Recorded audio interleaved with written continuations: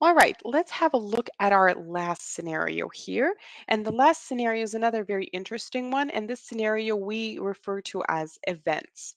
So, as many of you know, companies often conduct training sessions that are held on an annual or sometimes even more frequent basis. There's also events like conferences, company retreats, and maybe as a manager or an HR manager, I want to plan out who will be attending which event and when. So, who will be participating?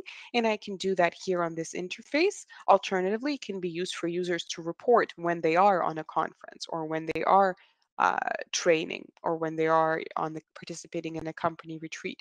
Moreover, if we're using actiPLANS for allocating absences as well, this interface will show us when users are away. So if we look at the grayed out boxes, this means that the user is not available. It's a non-working time. So in this particular case, this is a vacation. So if I'm on vacation during this period, uh, the HR will be able to see that and not schedule a certain training for me and schedule it perhaps in a different for a different group or a different time. So again, a very interesting, very useful tool in terms of visibility and being able to plan participation in company events.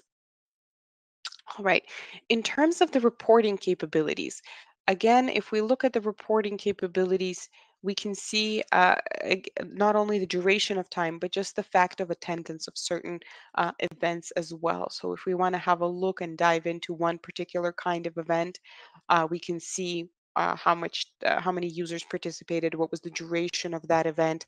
So again, it's a work-related activity that sometimes we don't always know how to plan out and how to group into teams. And this kind of information helps us. Here we can see a full breakdown of who attended the certain the event or the training session and when exactly it was attended.